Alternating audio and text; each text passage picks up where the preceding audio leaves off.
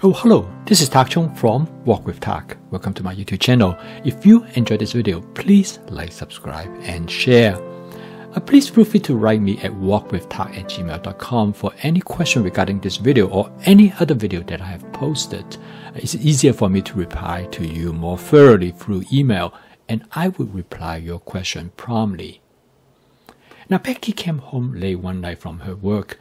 Uh, she was tired and hungry but she did not want to have fast food, takeout, or ultra processed food. Uh, she wanted to cook a dish from scratch using fresh ingredients uh, so that she knows what she puts into her body. However, she also wants something quick, in five minutes or less, perhaps, and she thought about a scrambled. Now, scrambled is a simple, efficient, but delicious egg stir fry dish. It is quick, simple to make, a blend between scrambled egg and an egg omelette. It has simplicity of scrambled eggs, but the characteristics of egg omelets. When time is short and hunger demands instant gratification, this dish is perfect in meeting the situation. Now, stir frying has the advantage of cooking under high heat without burning the food ingredients.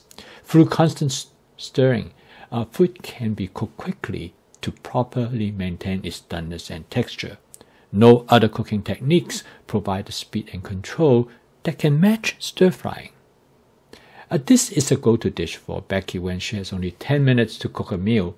Uh, to prepare this dish when she needs something quickly yet delicious.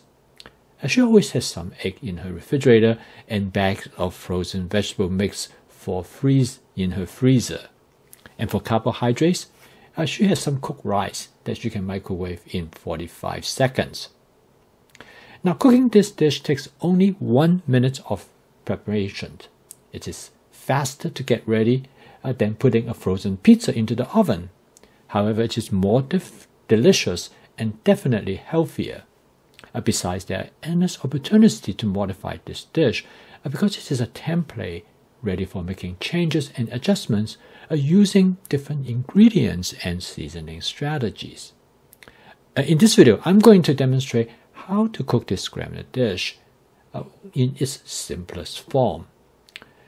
A wok is a perfect cooking utensil for cooking this dish, but a frying pan will also do the job, except the wok is more suitable and make the cooking more efficient and fun.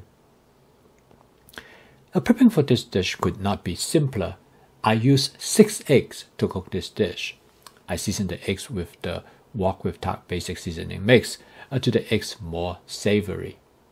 The seasoning mix uh, is mild to intense to enhance the natural flavor of any food ingredient. Uh, it is particularly good with eggs. Uh, you can purchase this on Amazon and give it a try. Uh, I have the link below the video. Now, frozen vegetables go very well with this scrambled dish. It adds great flavor and texture to the dish. The best frozen vegetable to use uh, is a frozen vegetable mix with peas, corn, carrot, and green beans. Uh, they are inexpensive and versatile and can use in many different dishes.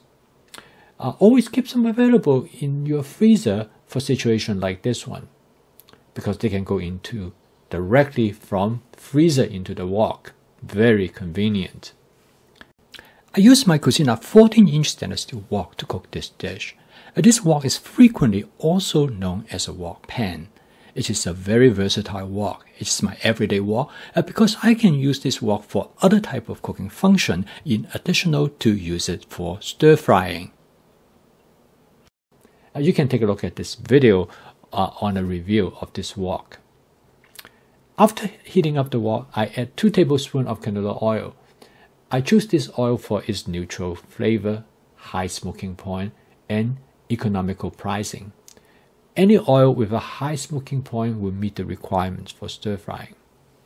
The spot seasoning method is simple and efficient to create a non-stick cook surface, and it takes only about 15 seconds, and it works every time.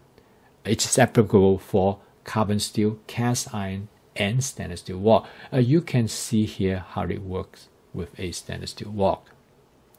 Uh, once the oil starts to smoke, Turn down the heat and let it to smoke gently uh, for about 15 seconds. Now this is a time when the wok is being seasoned uh, to create a non-stick cook surface. Simple and straightforward. And you can take a look at this video for more information.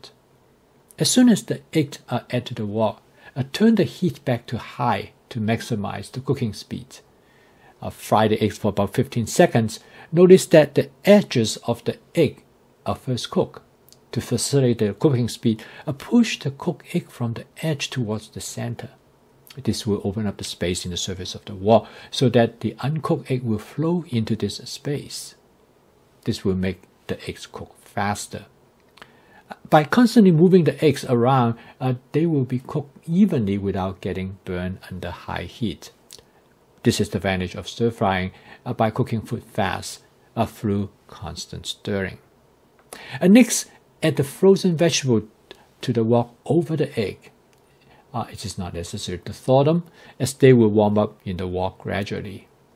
Uh, this has a greater tendency to maintain their texture, prevent them from uh, overcooking. To create an omelette-like texture, use the wok spatula to throw the egg over the frozen vegetables, using a gentle action in folding the cooked eggs to avoid scrambling them. A few quick makes, the dish is done, and the cook time is under 4 minutes. Many possibilities to garnish this dish depend on how the dish is going to be served. Uh, for this instance, Becky's like to serve it with rice. So she uh, used a combination of soy sauce and oyster sauce, and that seems to work best for her. However, there are many possibilities, from a chili sauce to a cheese sauce, and this is a good place uh, to create a unique flavor uh, that you like. Well, you might find yourself in a situation like Becky's, needing a home cooked meal in the place of fast food takeout or ultra processed food. Now, this dish might fit the bill. I'll give it a try and incorporate this simple dish into your repertoire. I post a video each day to help you to make home cooking as part of your daily routine. Uh, if you'd like to learn more about my fast cooking system, uh, you can subscribe to this YouTube channel. Uh, so keep on cooking I will see you tomorrow.